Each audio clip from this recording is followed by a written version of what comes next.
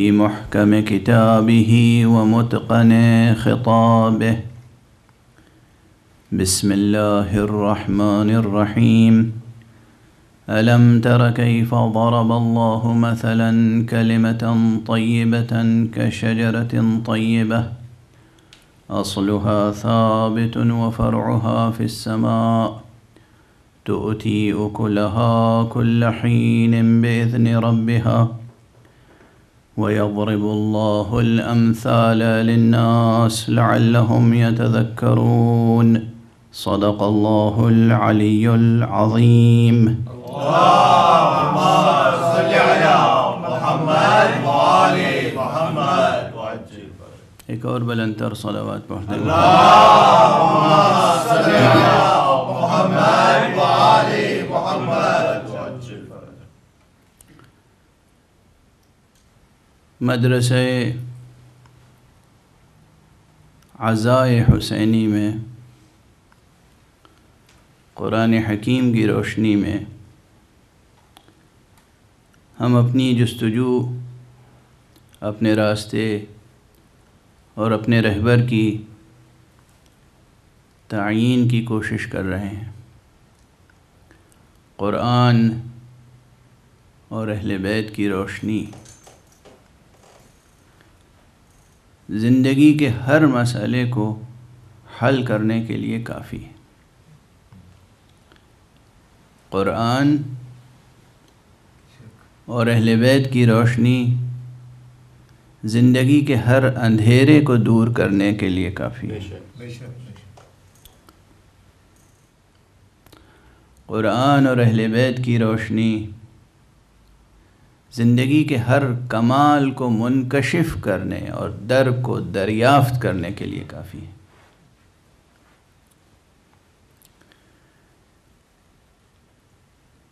ज़ाहिर है कि हर चीज़ के शराइत होते हैं।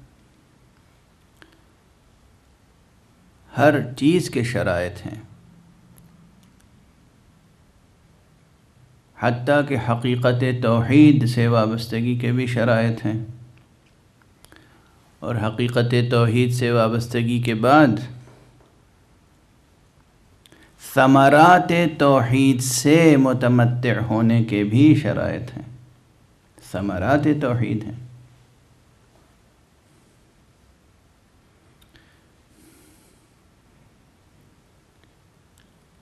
वो हदीस मशहूर मरूफ हदीस हज़रत सामिनजज इमाम अली इबन मूसर रज़ा अलैहिस्सलाम की।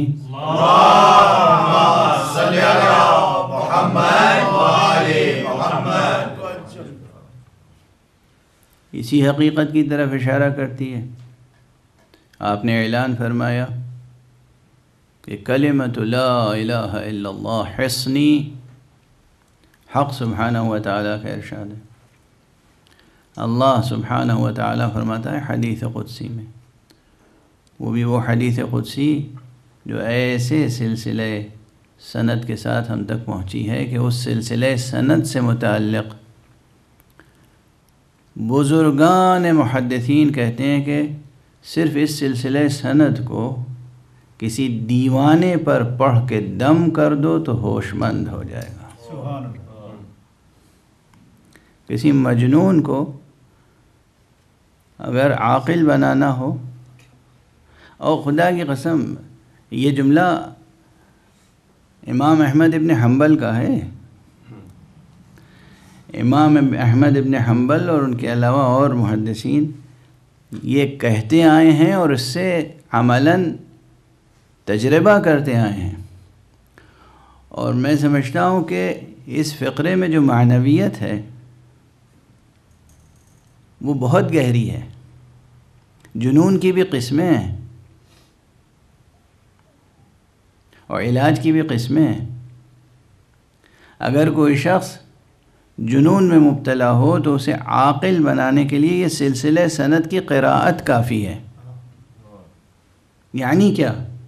ये किस किस्म का जुनून होगा? जिसके लिए इस सिलसिले सनद की क़राअत काफ़ी है।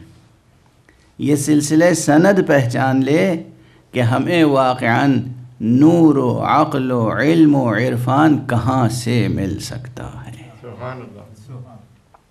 ये सिलसिला सनद इन असमा मुबारक में इन मुबारक नामों में वो तासीर है कि इंसान अक़ल और होश व खरत की दौलत से माला माल हो सकता है। तो वो हदीस क्या है? हदीस क़ुदसी के कलमत ला इलाहा इल्लल्लाह हसनी कलम ला इलाहा इल्लल्लाह मेरा किला है कलाए तोहीद कलाए तोहीद कलाए ला इलाहा इल्लल्लाह आज दुनिया में मिलत इस्लामिया जितनी भी कमज़ोरियों में मुबतला हो फिर भी उसका ये शरफ़ महफूज है कि वो कलम ला से वाबस्ता है। जितनी भी कमज़ोरियाँ हों। मैं उज़र तराशी नहीं कर रहा हूँ। रोज़ाना आपके सामने बहुत ही नस्बता तलख और तुंद लहजे में कह रहा हूँ कि अपनी कमज़ोरियाँ दूर करें कमालत हासिल करें जहालत को दूर करें फ़क्र अफलास और नादारी को दूर करें। नफ़रतों और मुनाफ़तों को दूर करें। इल्म हासिल करें, मोहब्बत हासिल करें क़वतें हासिल करें, शजातें हासिल करें, लेकिन इस पर भी तवज्जो रहे कि जो सरमाया आपके पास पहले से मौजूद और महफूज है, वो हाथ से जाने ना पाए। और वो है ये नमत कलम तय्यब ला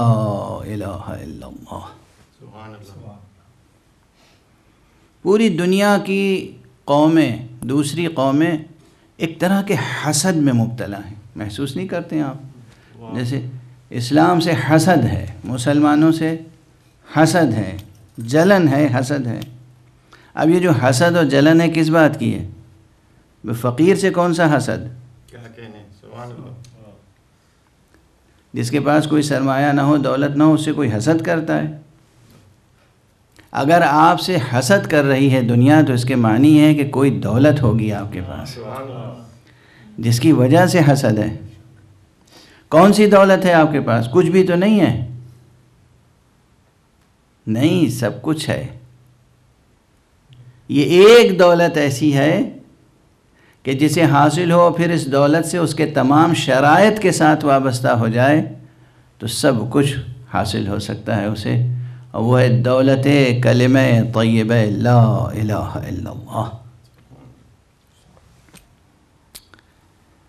दुनिया इस वक्त चाहती है कि ये कलम ला मिट जाए ये नक्श मिट जाए जिस नक्श को मोहम्मद रसूलुल्लाह सल्लल्लाहु अलैहि वसल्लम ने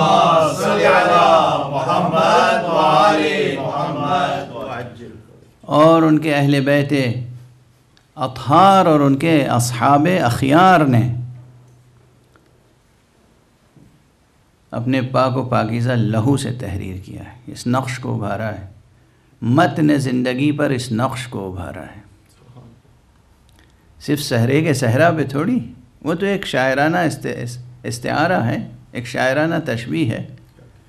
मत ने हयात पर इस नक्श को उभारा है। जबीन वजूद पर इस नक्श को उभारा है। अपने पाक पाकिज़ा लहू से। ला इल्लल्लाह। तो इरशाद इलाही है कि कलिमत ला इल्लल्लाह हिस्नी ये कलिम ला इल्लल्लाह मेरा किला है। फमन दखल हसनी अमिन अमिन आज़ाबी जो मेरे किले में दाखिल हो गया, वो मेरे अजाब से महफूज हो गया। मामून हो गया। वो अमन में है।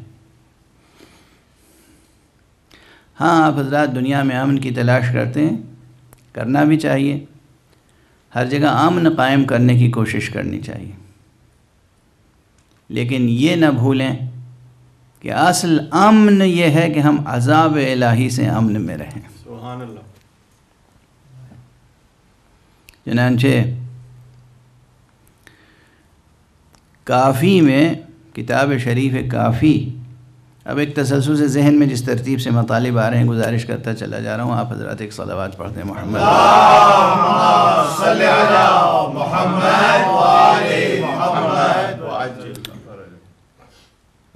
फ़िक़तुलइस्लाम फ़िक़तुद्दीन वलहक़। अबू जाफ़र, मोहम्मद इबन याक़ूब कुलैनी ने किताब शरीफ काफ़ी में सही सनत के साथ, जब मैं कह रहा हूँ सही सनत तो सही सनत परखने के बाद गुजारिश कर रहा हूँ।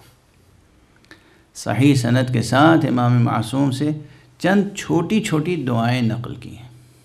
छोटी छोटी दुआएँ, मुख्तसर मुख्तसर।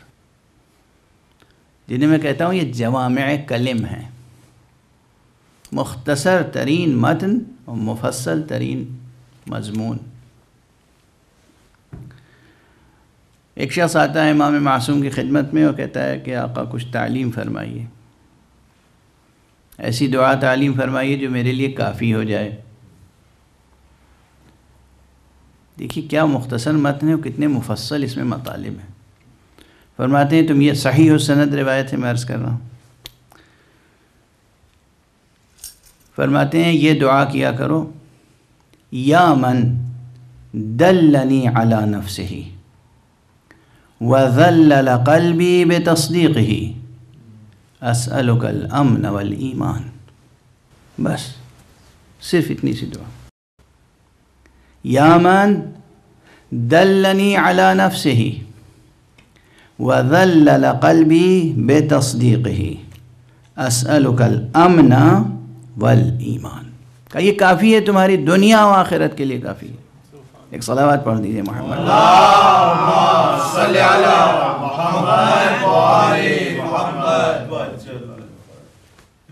यानी क्या?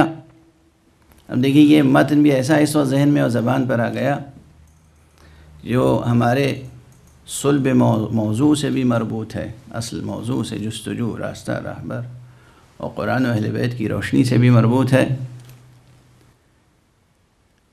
और मतालिब इसमें इतने बेपनाह हैं कि पूरा अशरा तो इसी सिर्फ़ मतन दुआ पे पढ़ा जा सकता है।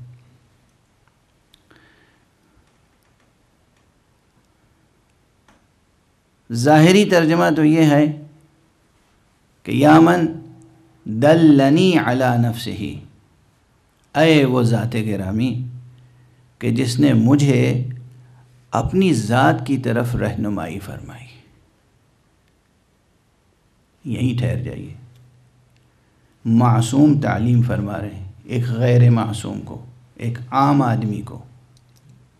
एक आम आदमी जब खड़े होकर हक़ सुबहान व ताली की खिदमत, की बारगाह में कुछ दुआ करेगा तो एक शर्त बड़ी याद रखिएगा।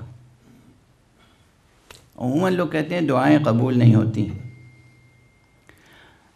कोशिश कीजिए, सही कीजिए कि मकाम दुआ में जितने भी अल्फाज ज़बान से अदा हो रहे हों, दिल और दिमाग के साथ, आप अपने वजूद के साथ वाक़ उन अल्फाज के मानी की तस्दीक कर रहे हों। यानी जो लफ्ज़ अदा कर रहे हो, वो आपकी तलब हो। ऐसा ना हो कि तलब कुछ और है। और लफ्ज़ें कुछ और। मुझे मालूम नहीं कि वजाहत हो पाई या नहीं। मुहर्रम है। परवरदिगार तोफ़ी अता फ़रमाए, आप तमाम हजरात को कि रोज़ आशूर का इंतज़ार न करें। रोज़ाना ज़ियारत आशूरा पढ़ें।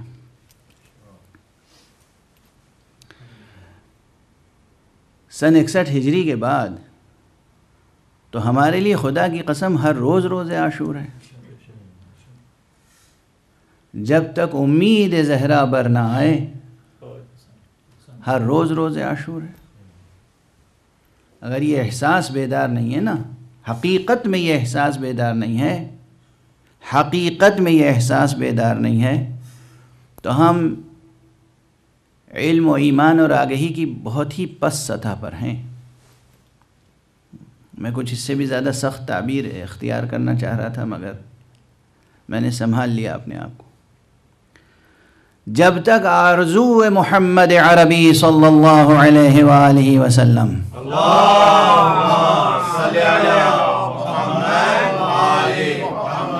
पूरी नहीं होती। जब तक उम्मीद मुस्तफ़ा पूरी नहीं होती।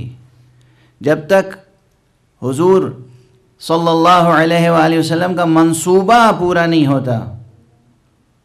उस वक्त तक हमारे लिए हर रोज़ रोज़ आशूर है।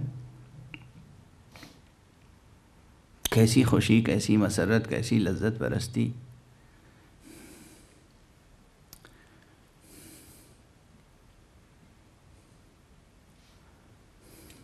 है, सख्त मरहला है। बहरहाल, ज़्यारत आशूरा रोज़ पढ़ा करें। ज़्यारत आशूरा में जो कलिमात हैं, अल्फाज हैं, फ़िक्रे हैं, क्या हैं? बहुत से लोग हाजत कुछ होती है, उस हाजत को तलब करने के लिए ज़्यारत आशूरा पढ़ते हैं। यानी ख़ुद ज़्यारत आशूरा में जो मतालब हैं, जो मुतालबे हैं, जो तलब है ज़्यारत आशूरा में, उसके, उसमें जो दुआ दुआया फ़िक्रे हैं उन दुआया फ़िक्रों के मजामी से कोई ताल्लुक़ नहीं है। ताल्लुक़ किस चीज़ से है? सिर्फ़ कोई एक तलब अपनी। ये तलब पूरी हो जाए उसके लिए इस पूरे मतन को किस लिए इस्तेमाल कर रहे हैं? ज़रिया, वसीला। ज़रिया, वसीला, लेकिन इस वसीले, इस मतन ये जो मजमून मासूम ने सिखाया, इसमें जो दुआएँ हैं, जो तलब है, इस तलब से दिल का कोई ताल्लुक़ नहीं है। तवज्जो रखिएगा, मुश्किल मरहला है। उसमें जो तलब है कि बाका हमें आपसे मोहब्बत है, और आपके दुश्मनों से हमें बरात है, हम उनसे बरी हैं, उनके अमल से बरी हैं, और हमारी आरज़ू यह है तलब यह है कि परवरदिगार हमें आपके खून नाहक का इंतकाम लेने के लिए इमाम बरहक इमाम मासूम इमाम मुंतज़र के साथ जिहाद का शरफ अता फरमाए। यानी जहूर इमाम की बेहतरीन दुआ तो ख़ुद ज़्यारत आशूरा है। ये जितने भी मजामी हैं अनासिलमन लेमन सालमकुम व हरबुन लेमन, हारबकुम। जिसने आपके साथ सुलह की, हमारी सुलह उसके साथ है। जिसने आपके साथ जंग की, उसके साथ हमारी जंग है। इससे कोई ताल्लुक़ नहीं इस मजमून से। अल्फाज दोहरा रहे हैं, किस लिए? तलब कुछ और है। वो फरमाए, क्या तजाद है? क्या तनाकुज़ है? क्या तजाद है? तो पहली शर्त यह है वाक़ान इस्तजाबत दुआ की। इस तमाम शरात के न होने के बावजूद दुआएँ बाज़ लोगों की कबूल हो जाती हैं। ये महज लुत्फ़ इलाही है। ये करम इलाही है। वरना कबूलियत दुआ के शरात भी हम पूरे नहीं करते। कि लफ्ज़ें जो ज़बान से अदा कर रहे हैं, उन लफ्ज़ों में सादिक हों। सच बोल रहे हैं। खुदा के सामने तो सच बोल रहे हो। खुदा के सामने तो सच बोल रहे हो। अल्फाज के मानी है कि हम ये चाहते हैं और मुराद कुछ और। और फरमा रहे आप, बहरहाल ये जहन आली में रहे कि जब हक़ सुबहान व ताली की बारगाह में हो। तो जो लफ्ज़ ज़बान से निकले सादकाना हो। मुराद वही हो, मकसूद वही हो आपके लिए मानी हो वो बात। तो अब अगर आप हक़ सुबहान व ताली के सामने खड़े हो के मासूम की तालीम की हुई ये दुआ पढ़ रहे हैं या मन दल्लनी अला नफ्स ही ये तो मौला अमीरमिन अली इबन अबी तालिब सलाम से मरवी दुआए सबाह का एक फ़करा है।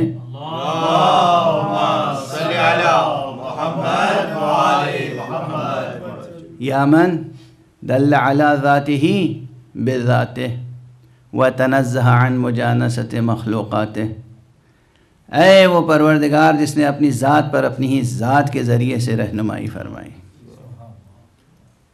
ऐ वो यामन दल अला ज़ात ही बेदात यहाँ हकीमाना और फ़लसफ़ियाना और मारफत के बहुत से बाब हैं जो इस छोटे से फ़क़रे में छुपे हुए हैं पूरा इल्म कलाम क़ुरबान हो जाए इस एक फ़क़रे पर बाब तोहीद में। तो वहाँ फरमाया यामन दल अला ज़ात ही बेदात तो क्या ये कैफियत सिर्फ़ अमीरमिन अली इबन अबी तालिब सलाम के ताल्लुक़ से? एक सलावात पढ़िए।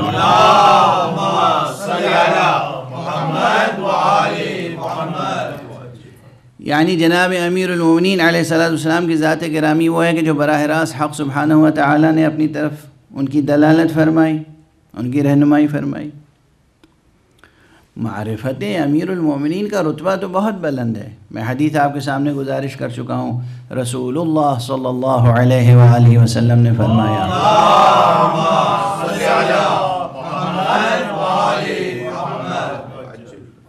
अली, खुदा को नहीं पहचाना मगर मैंने और तुमने।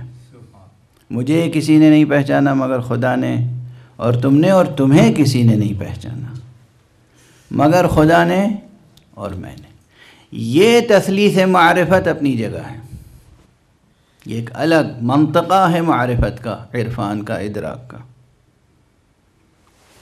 वो एक अलग बहस है कि हक़ सुबहान हुआ ताली ने अपनी ज़ात पर अपनी ही ज़ात के ज़रिए से रहनुमाई फरमाई। यहाँ एक आम इंसान को तालीम फरमाया जा रहा है कि तुम ये कहो, या मन दल्लनी अला नफ्से अय वो परवरदिगार के जिसने अपनी ज़ात पर मेरी रहनुमाई फरमाई।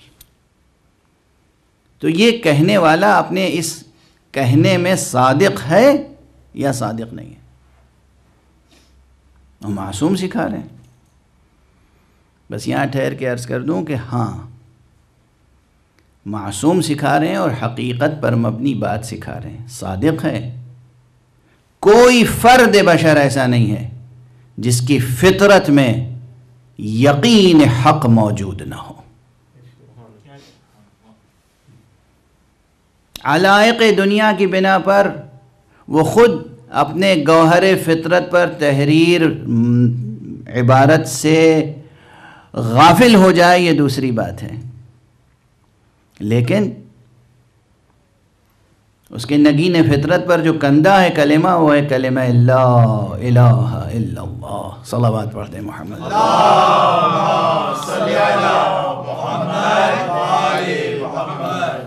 एक और ज़रा बलंदर सलावात।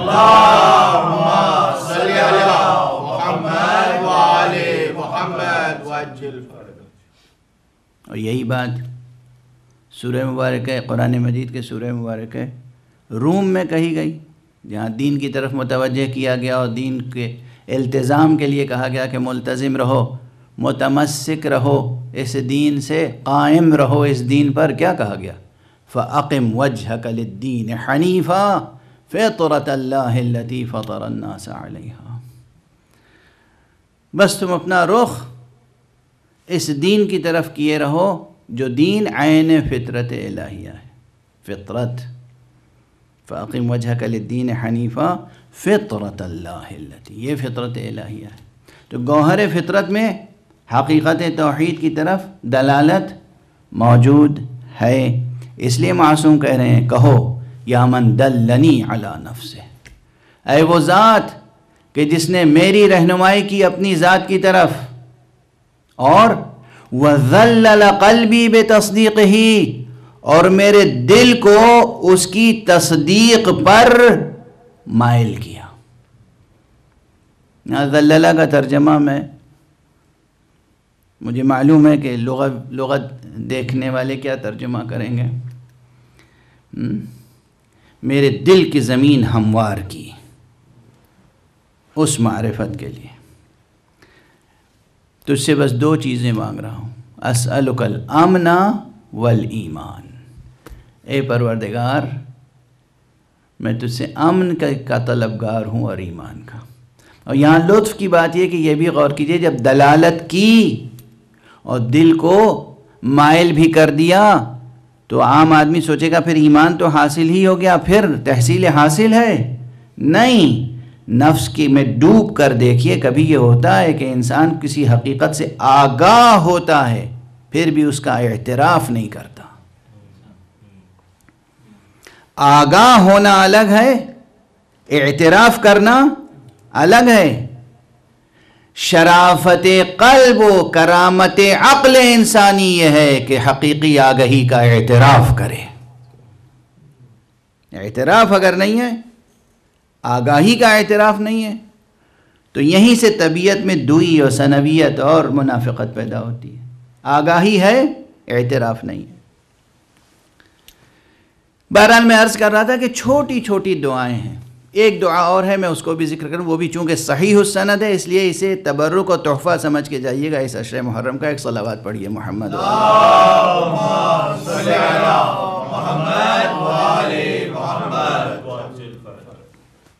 इसी किताब शरीफ काफ़ी की किताब दुआ में। ये भी बिल्कुल सही हो सनद, परखी हुई सनद के साथ।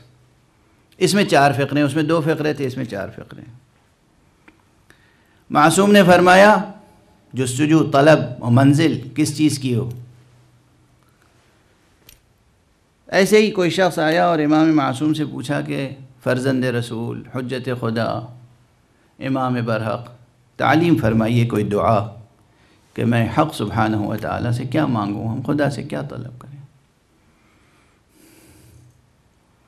फरमाए ये दुआ मांगो मुख्तसर सी है दो सतरें डेढ़ सतरें बल्कि एक सत्र अल्लाहुम्मा अवस अलैया फ़ी रिज़्क़ी वमदुद ली फ़ी उम्री वगफिर ली वजअलनी मिम्मन तंतसिर बिही लिदीनिक वला तस्तब्दिल बी गैरी बस इतनी सी दुआ है ये भी, यानी जवाम कलम हैं। मुलतज़िम हो जाए कोई इसका। पहली चीज़ क्या है? ए परवरदिगार, मेरे रिस्क में वसात अता फरमा। अल्लाह उसे ली या उसे आलिया फ़ी रिज़्क़ी, दो मतन है। और वमदुदली फ़ी उम्री, मेरी ज़िंदगी में दराजी अता फरमा, तूल उम्र अता फरमा। अल्लाह की इबादत के साथ तूल उम्र नेमत है। अल्लाह की मासीत के साथ छोटी सी ज़िंदगी भी अजाब है। अल्लाह की अतात के साथ तोल उम्र, नमत है नमत। जितनी तवील ज़िंदगी होगी अतात खुदा के साथ, उतनी ही वसी अरीज़ बहिश्त नसीब होगी। जन्नत भी उतनी ही बड़ी मिलेगी। तो तोल उम्र, तीसरी चीज़ वफ़िर दम भी मेरा गुनाह माफ़ फरमा दे। और ये आखिरी दुआ जो है ये बहुत ये फ़िक्रा क्या है? फ़िक्रे में इरशाद फरमाया वजअलनी मिम्मन तंतसर बही दीनिक और मुझे उनमें से करार दे जिनके ज़रिए से तू अपने दीन की नुसरत फरमा। मुझे मुझे उनमें से करार दे जिनके ज़रिए से तू अपने दीन की नुसरत फरमा वजालनी मिम्मन तंतसर बहील दिनिक वला तस्तब्दिल भी गैरी, और मेरी जगह किसी और को न ले आना। तब्दीली नहीं चाहता मैं। मैं ये नहीं चाहता कि ये खिदमत मुझसे ना लेकर किसी और से ली जाए। नुसरत दीन मुझी से लेना, मेरी जगह किसी और को। यानी मुझसे ये खिदमत सल्ब करके किसी और को तफवीज़ ना करना। ये बहुत बड़ी बात है। ज़िंदगी में परवरदिगार लोगों को खिदमत के मौके देता है। वसीले देता है, मौके देता है। और अगर इंसान उन वसाइल से और उन मौक़ों से और उन फुर्सत से काम न ले, अपनी नफ्स परस्ती में मुबतला रहे तो फिर उससे वो मौका, वो फुर्सत, वो तौफीक सल्ब हो जाती है। फिर हमेशा कफ़े हसरत मलता रहता है। कफ़े अफसोस मलता रहता है इंसान, वो गई फुर्सत। अब ये फुर्सत, ये तौफीक किसी और को नसीब होगी। आपकी किस्मत से गई। यहाँ दुआ ये परवरदिगार वजालनी मिमन तन तसर बहील दीनिक मुझे उनमें करार दे जिनके ज़रिए से तू अपने दीन की नुसरत फरमाएगा।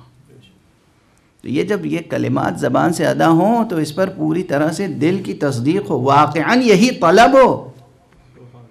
वाक़ान यही तलब हो कल्ब की। अगर तलब कुछ और है, दिल का मुतालबा कुछ और है और ज़बान पर लफ्ज़ें कुछ और हैं तो वह दुआएँ कभी कबूल नहीं होंगी। परवरदिगार हमें और आपको तोफ़ी अता फ़रमाए कि हम खुदा के सामने जब खड़े हों तो कम से कम सादकुल कौल हों। सलावात पढ़ दीजिए मोहम्मद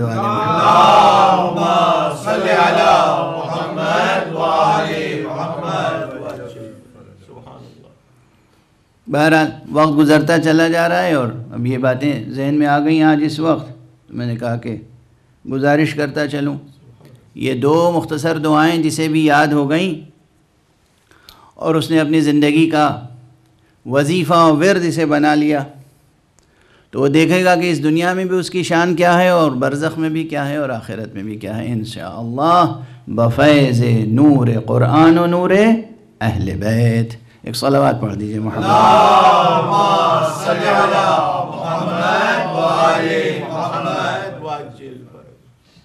बात कमालात की हो रही थी, जस्तजुओं की हो रही थी, और मैंने कल गुजारिश की आपके सामने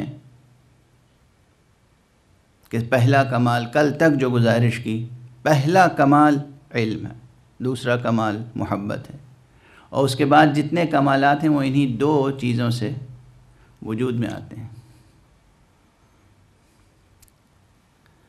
यहाँ पर जब बार बार मैं कह रहा हूँ, कमाल कमाल अव्वल इल्म है इल्म है इल्म है तो एक चीज़ की वजाहत कर दूँ, अगरचे जहीन अफराद के लिए वजाहत ज़रूरी नहीं है।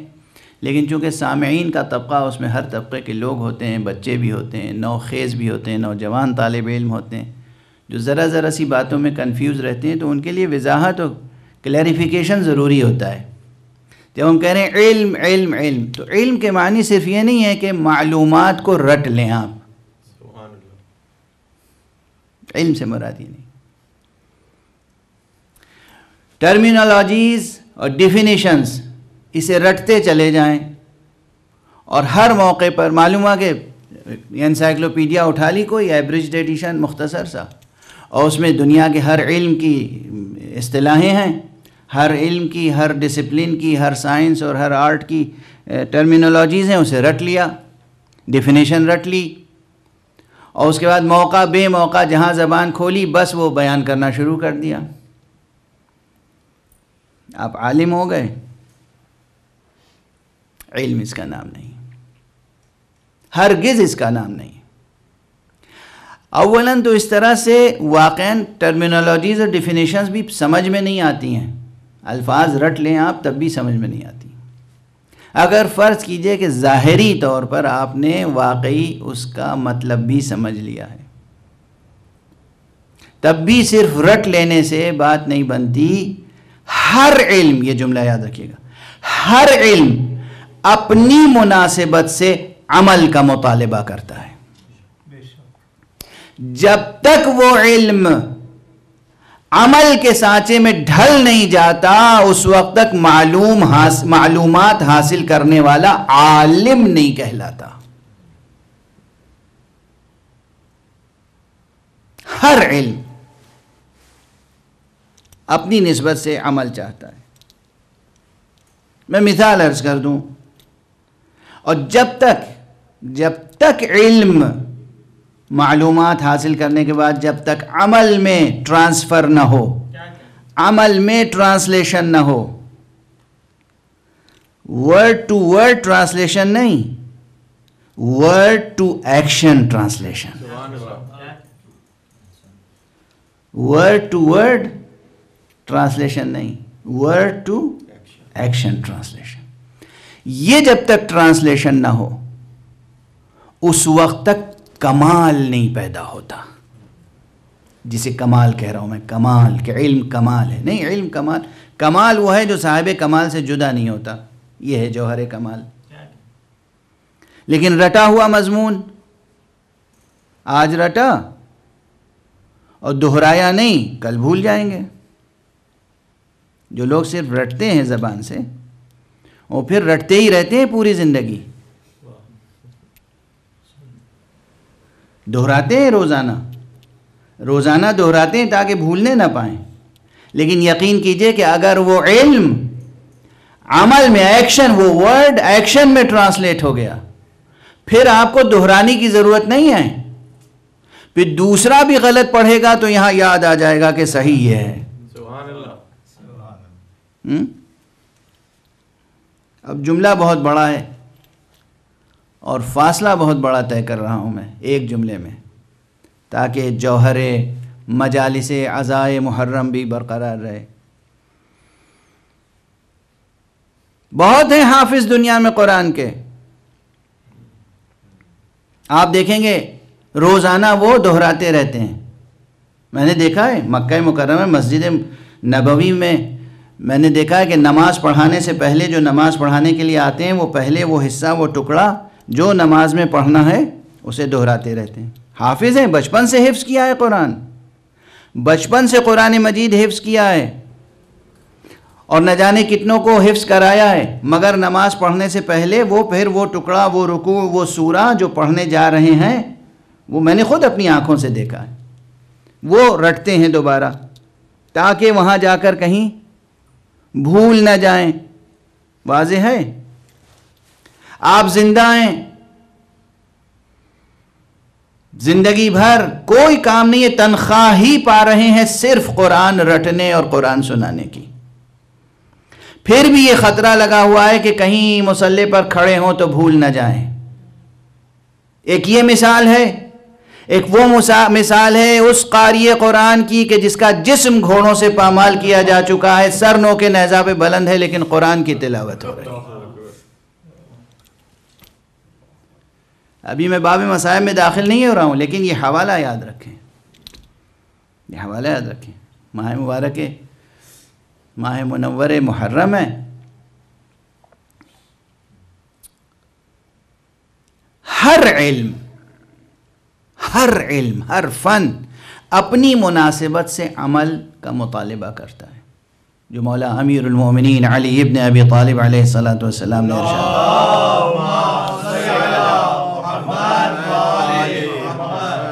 एक और बलंदर सलावत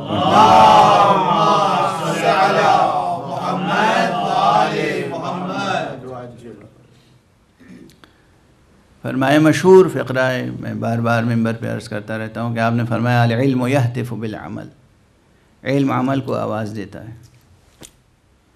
फ़ैन अजाब व तहल अगर अमल इल्म की आवाज़ पर वजूद में आ जाता है तो इल्म वहाँ ठहरता है।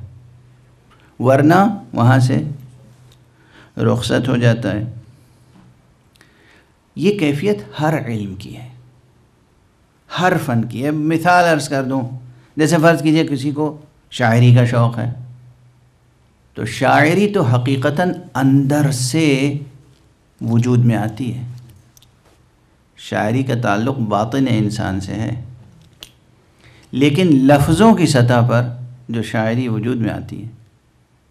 तो उसके कुछ कायदे, कवानीन, ज़ाबते मुकर हैं।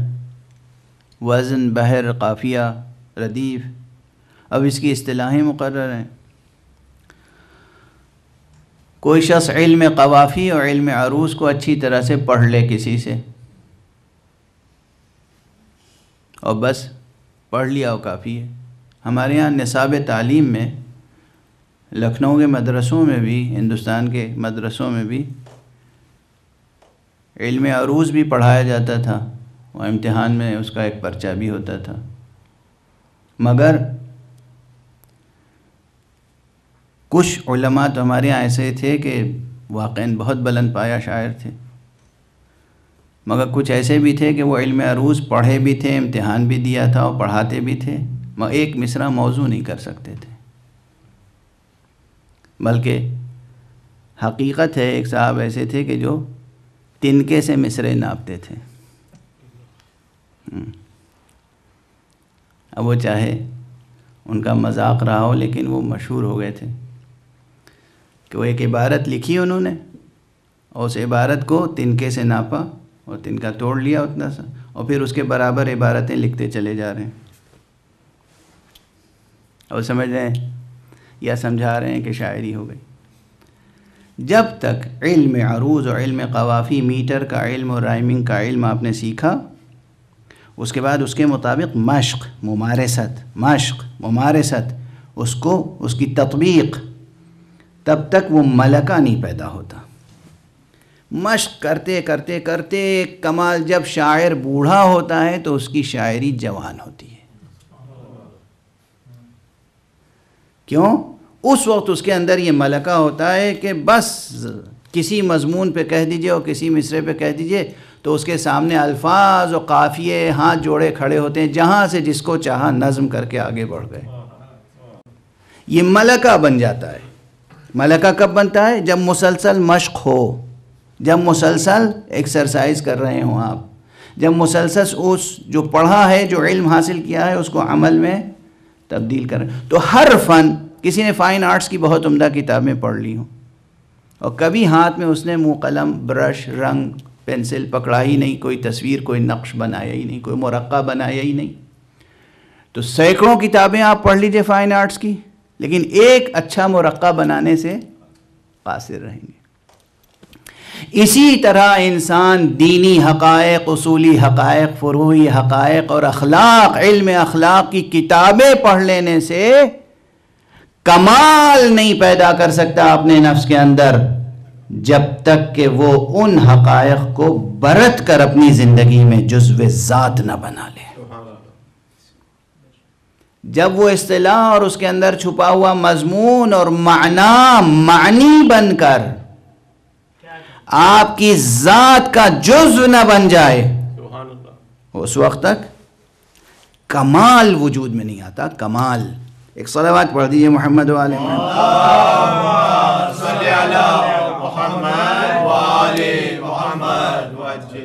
ये सारी गुफ्तु इसलिए है कि हम इस काबिल हो जाएँ। मैं जो दुआ कर रहा हूँ आजकल, हम इस काबिल हो जाएँ कि हम और सारी इंसानी, सारी इंसानियत उस इल्म और फजल और जहानत के उस रुतबे पे आ जाएँ कि हम मोहम्मद और आल मोहम्मद वसलाम की मारिफत हासिल कर सकें, उनसे वाबस्ता हो सकें।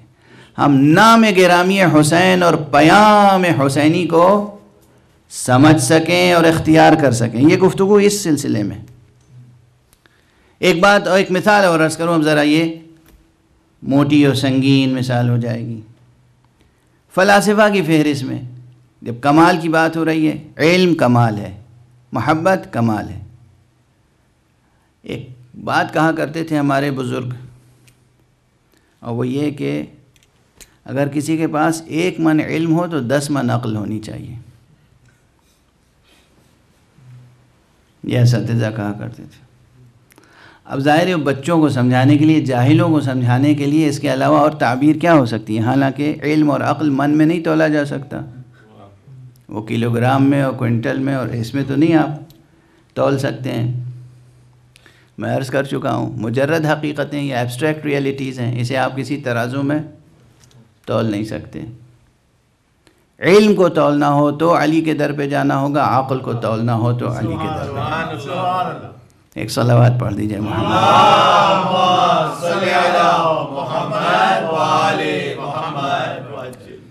इल्म की मीज़ान अक़ल की मीज़ान अमल की मीज़ान।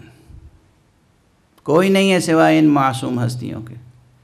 यह मीज़ान इल्म यह मीज़ान अक़ल यह मीज़ान अमल। बहरहाल तो इल्म के साथ साथ अक्ल भी एक कमाल है ज़ात इंसानी का। अक्ल अक्ल, कमाल है ज़ात इंसानी की।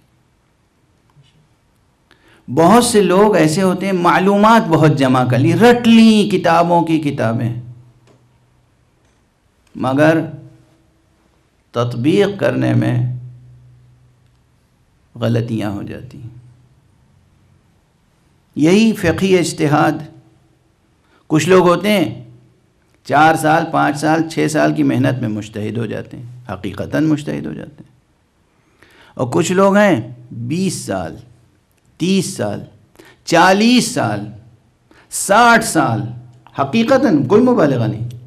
हौज़े में हैं हौज़ई में पैदा हुए हौज़ई में हैं, रोज़ाना दर्स में जाते हैं, मुश्तहिद नहीं हो पाते। अब क्या किया जाए?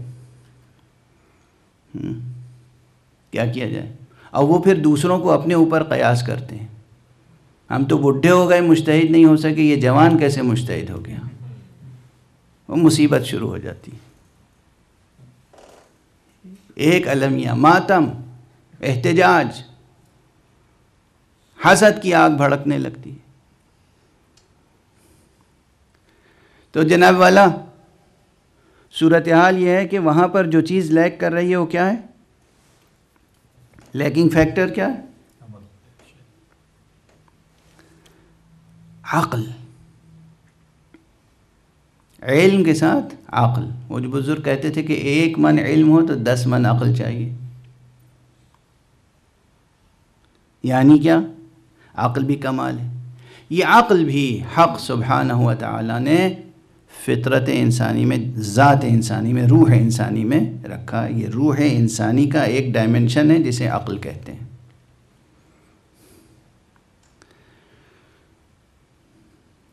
मैं क्या करूँ अब? ज़ाहिर है कि ये सबको मालूम है कि ये गुफ्तु किस माहौल में हो रही है। पूरी दुनिया पर कोविड नाइन्टीन और ये कोरोना का साया है। तो सामने मेरे जो बैठा हुआ मजमा है वो मुख्तसर सा है। इसलिए मेरा लहजा, मेरी आवाज़, मेरी बातें, मतालब सब मुतासर हैं उससे। लोग जो गुज्त साल मेरी मजलिसें सुन चुके हैं, उससे क़यास कर रहे हैं तो आपका यह क़यास बातिल क़यास है। आप ये ना समझिए कि मैं कोई ऐसा शख्स हूँ जो रटे हुए मतालब हैं और एक्शन हैं सीखे हुए कि वो करना है मेंबर पर, ये काम मेरा नहीं है। तो जो बातें अर्ज़ कर रहा हूँ, उसे गुजार, उन गुजारिशात को समात फरमाएँ और गोश दिल से समात फरमाएँ। एक सलावात पढ़ें मोहम्मद वाला।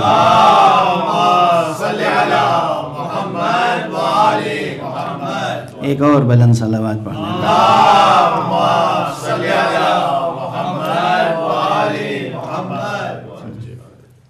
तो हक़ सुबहान ताला ने इल्म भी, इल्म का बीज आपकी फितरत में बो दिया है। और अक्ल भी आपकी फितरत में मौजूद है।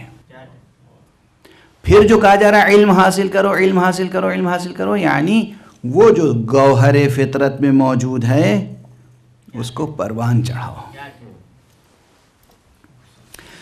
अब अक्ल के बाब में बहुत सी बहसें हैं, लेकिन मैं यहाँ पर सिर्फ़ इस वक्त एक फ़लसफ़ी की असलाहें कोट करके आगे बढ़ जाऊँगा, चूँकि वक्त बिल्कुल ख़त्म हो चुका आज। और वो है अबू नसर फ़ाराबी। अवीम फ़लसफ़ी। अवीम हकीम। अवीम दानशमंद। तारीख़ इस्लाम में, और बल्कि पूरे फ़िलासफ़ी की हिस्ट्री में। अरस्टोटल को कहलात कहा जाता है मुअल्लिम अव्वल, और फाराबी को कहा जाता है मुअल्लिम सानी। मुअल्लिम सानी, फाराबी, अबू नसर। इसने अपने एक मकाले में अक़ल के तीन मरातब से मुतारफ़ कराया है। का एक है जिसे कहते हैं अक़ल हयूलानी, या उसी को कहते हैं अक़ल बिलकुवा दूसरी मंजिल है अक्ल बिलफ़ल, और तीसरी मंजिल है अक़ल मुस्तफ़ाद। बाज़ ने पाँच बाज़ ने सात मरातब अक़ल के मुन किए हैं। दूसरे फ़लासफ़ा इबन सीना और मुल्ला सदरा और मीर बाकर दामाद जो उस्ताद मुल्ला सदा है, वो सब अकवाल इस फ़कीर की निगाह में हैं, लेकिन दामन वक्त में गुंजाइश नहीं है और सब पर बहस करने के लिए मुस्तकिल एक बाप चाहिए। तीन, अक्ल बिलकुआ क्या है या अक्ल हयुलानी? यानी चीज़ों को समझने की कुदरत अल्लाह ने आपकी ज़ात में रखी है। देखिए, ज़मीनें होती हैं ना, ज़मीनों की किस्में होती हैं। कुछ ज़मीनें होती हैं कि जहाँ धान और गेहूँ बोएँ आप, छीटें, रोपें, मगर वो उगेगा नहीं, जमेगा नहीं। वो ज़मीन, वो मिट्टी उसे कबूल नहीं करेगी। बाज़ जगहों पर।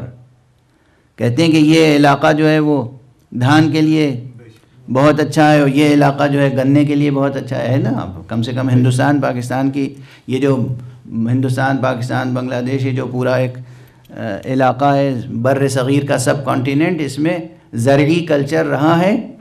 और अल्लाह करे कि महफूज रहे सनाती तबाहकारियों से। सनाती कल्चर की तबाहकारियों से और सरमायादारियों, सरमायादारों के अयारियों से। खुदा करे कि ये किसान सलामत रहें, किसानों के दस्तों बाजू सलामत रहें, इनकी ज़मीनें पानी से सींची जाएँ, नफ़रत और खून से न सींची जाएँ।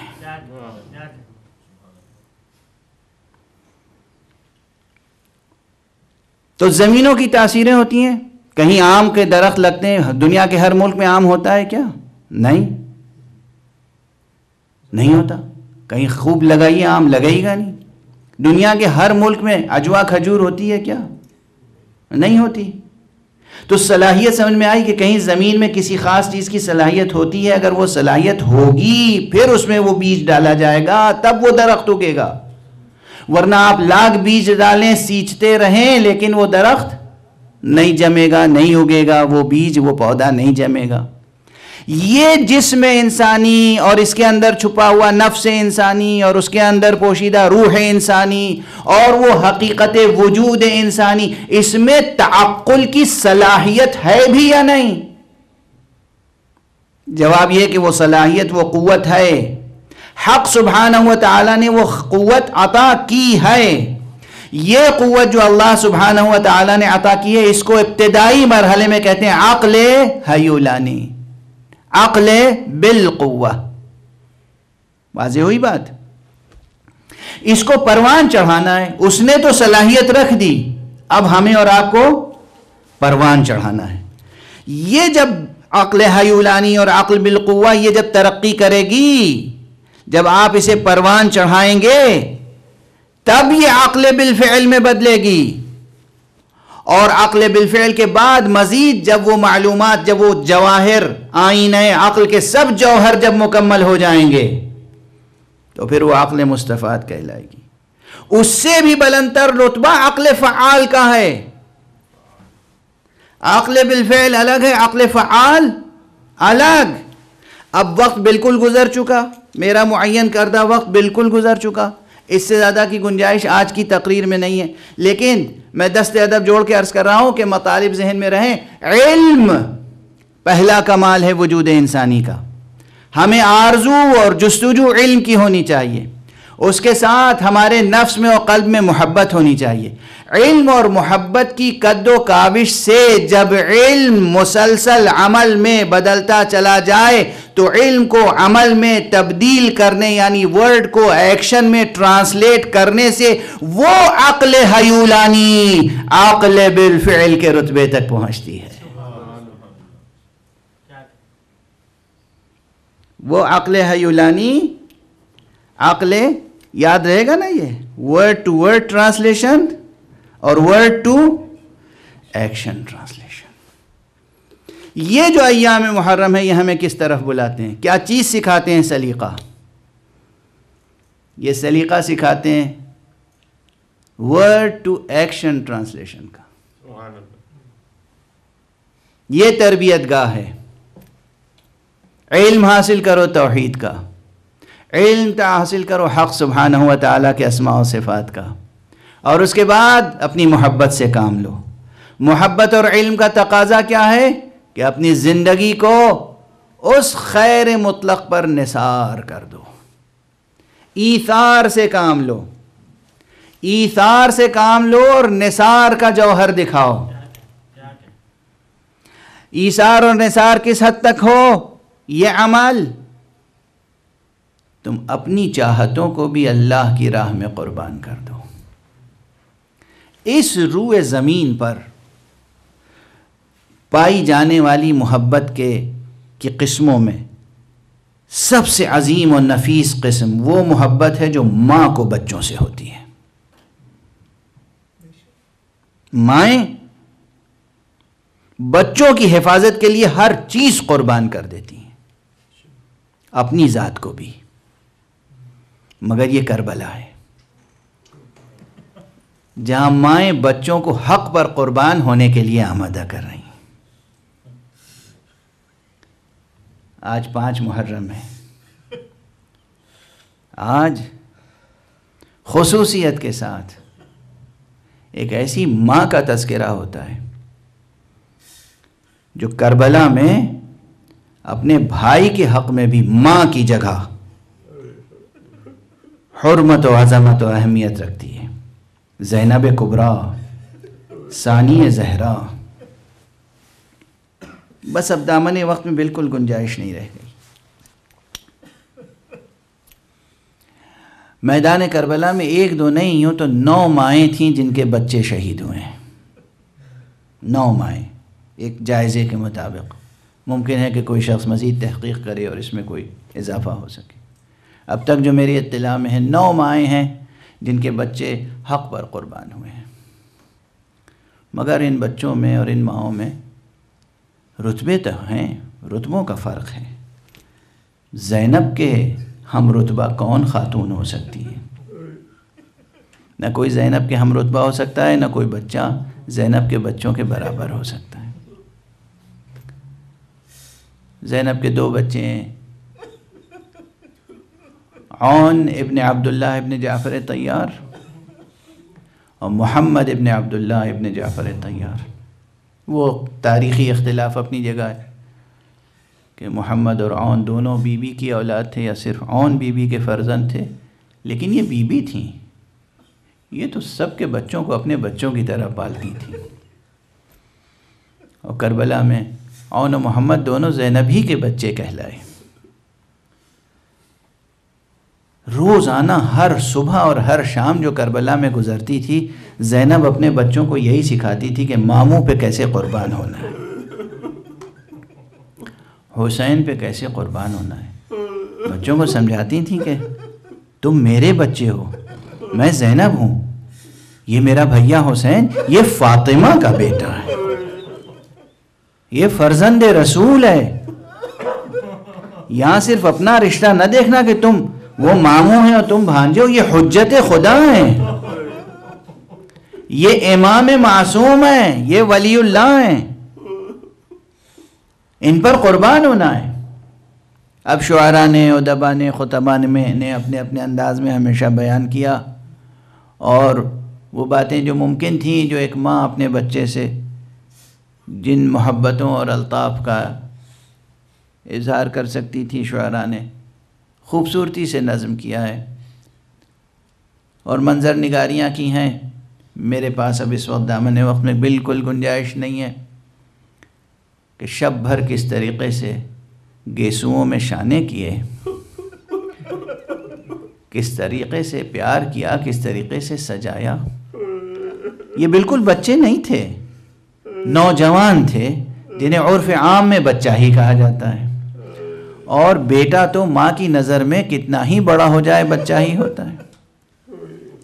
आउन और मोहम्मद, दोनों पर हज़रत इमाम ज़माना ने ज़्यारत नाहिया में खसूसी सलाम कहा है और उसमें इनके औसाफ बयान किए यानी आउन मोहम्मद, कम उम्री के बावजूद इनमें इल्म भी था, मारफत भी थी शजात भी थी, कमालात इंसानी जमा थे, कमालात मानवी जमा थे। वो फ़िक्र ज़्यारत नाहिया के अगर पढ़ लें आप तो अंदाज़ा होगा कि ओन मोहम्मद का रुतबा क्या है? उनकी शख्सियत सामने आएगी। हलीफुल ईमान अन्नासहमान अत्ताली लिलमथानी वल कुरान ये सब इमाम ज़माना ने या इमाम हसन अस्करी सलाम ने हज़रत ओन के फ़ज़ाइल बयान किए हैं। तीन चार फ़िक्रे हैं, लेकिन कमाल सामने आता है जनाब ओन का। शब आशूर गुजरी, शब भर माँ बेटों को समझाती रही, सुबह आशूर आई, असहाब ने कुर्बानियाँ दी, और जब अहले बैत के अफराद शहीद होने लगे होने लगे तो एक मरतबा, बस ये दोनों बच्चे आए, मामू के पास, मामू जान, हमें भी इजाज़त दीजिए। सरकार सैदुलशहदा ने एक मरतबा नज़र उठा के, नज़र भर के देखा। जवान भांजे, नौजवान भांजे औन मोहम्मद। हर एक इनमें से शबी है, हज़रत जाफ़र तैयार है। इमाम हुसैन की आँखों में आँसू हैं, मगर भांजे मचल रहे हैं। कहा, बच्चों, तुम अपने माँ के लिए वजह तसल्ली हो, कहा, माँ ही ने तो सजा के भेजा है। ये तलवार कमर में माँ ने हमायल की है, मैदान की तरफ़ जाने के लिए माँ ने भेजा है। इमाम ने दोनों को प्यार किया और मैदान करबला में जाने की इजाज़त दी। रिवायतों में दोनों बच्चों ने बेपनाह जंग की है। यादगार जंग की है। नौखेज हैं, नौ उम्र हैं, मगर खूब जंग की है। बेपनाह जंग की है। न जाने कितने कत्ल किए दुश्मन, लेकिन कब तक जंग करते? कहते हैं, दुश्मनों ने घेरा डाल के दोनों बच्चों को चारों तरफ़ से हमला करना शुरू किया। अब तीर हैं, नेज़े हैं, तलवारें हैं बच्चे शहीद होकर ज़मीन पर गिरे और आवाज़ दी, या अम्मा, अलैका सलाम, या अबा अब्दुल्लाह, अलैका सलाम। ए अबू अब्दुल्ला ए फर्जंद रसूल यबना रसूल आप पर हमारा आखिरी सलाम हो। कहते हैं कि आका हज़रत इमाम हुसैन तेज़ी से मैदान जंग में पहुँचे। दोनों भांजों के लाशें उठा के खैम गाह में लाए। यहाँ पर आप सुनते रहते हैं जब भी किसी शहीद का लाशा आता था जो असहाब में से होते थे उन्हें फुस्तात में रखते थे। जो बनी हाशिम में से होते थे उस, उनको अलग खैमे में लाते थे जहाँ बीबियाँ मातम करती थीं। बीबियाँ पुरसा देती थीं एक दूसरे को। जब ये लाशें आए हैं हर लाशा जब आता था तो उस लाशे का इस्तकबाल जैनब करती थी। लेकिन जब ओन मोहम्मद का लाशा लेकर सैयद शहदा आए हैं तो जनाब जैनब नज़र नहीं आई। पूछा, ज़मीन पर लाशा रखा, बहन जैनब कहाँ है? कह दो, बहन जैनब से उनकी कुर्बानियाँ कबूल हो गई। बीबियों ने कहा जैनब वो गोशे में सजदे शुक्र अदा कर रही है। परवरदिगार, तेरा शुक्र मेरी कमाई सुवारत हुई। फातिमा के लाल पर मेरे बच्चे निसार हो गए।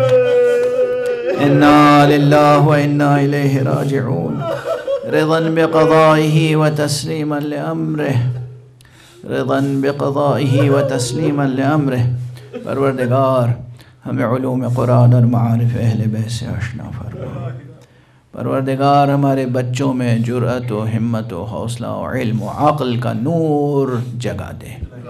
परवरदिगार, हमारी ज़िंदगियों से अंधेरे दूर हो जाएँ, उजाले ही उजाले पैदा हो जाएँ। मबूद, हमारे मुल्क में, हमारी कौम में, अमन, आफियत, इल्म, आगही की रोशनी पैदा हो जाए। हर तरह के जुल्म जबर का सिलसिला ख़त्म हो जाए। परवदिगार पूरे कुर अर्ज़ पर, इस कुर अर्ज़ को कुर नूर बना दे महबूद इल्म और हसन अमल से इसे कुर नूर बना दे। इस कुर खाकी को ज़हूर हज़रत हजत से कुर नूर बना दे। परवरदिगार, हमारे सरों पर आलाम का रूहानीन का साया बरकरार रहे। खसूसियत के साथ। रहबर इनकलाब इस्लामी आयतुल्लामा सैद अली हुसैनी ख़ामनई और मरज आली कदर, हज़रत आयतुल्लामा सैद अली हुसैनी सिस्तानी को अपनी ख़ास हिफ्ज़ अमान में रख। परवरदिगार, वारिस परचम हुसैनी हज़रत वली असर को इसने ज़हूर अता फरमा